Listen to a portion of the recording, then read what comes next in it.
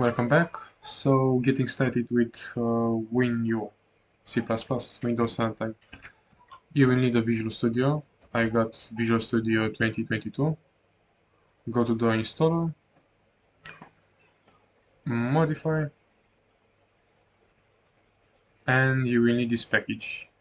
Toggle it, download, install.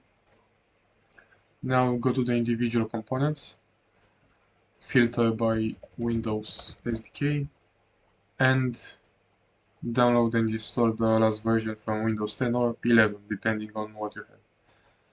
Close, exit, open the Visual Studio, create a new project, filter by C++, Windows and WinUI and uh, create a blank app package name it as you like, don't toggle this one, create,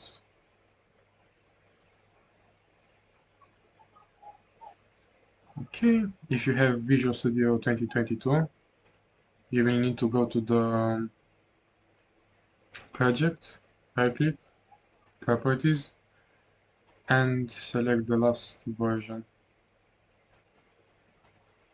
of Visual Studio. Okay, now go to the search bar and type NuGet.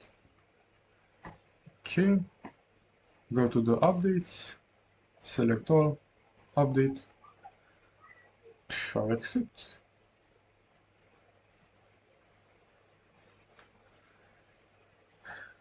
Okay, restart.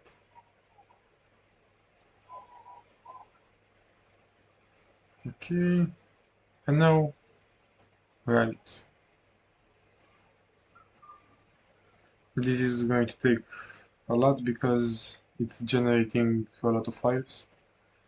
Like, let me show you. It's generating all of those files every time.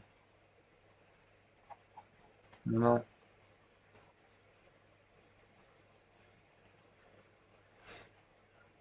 if you modify the PCH, which is a pre-compiled header, it's going to compile again the header and it's going to take a lot again and that is it.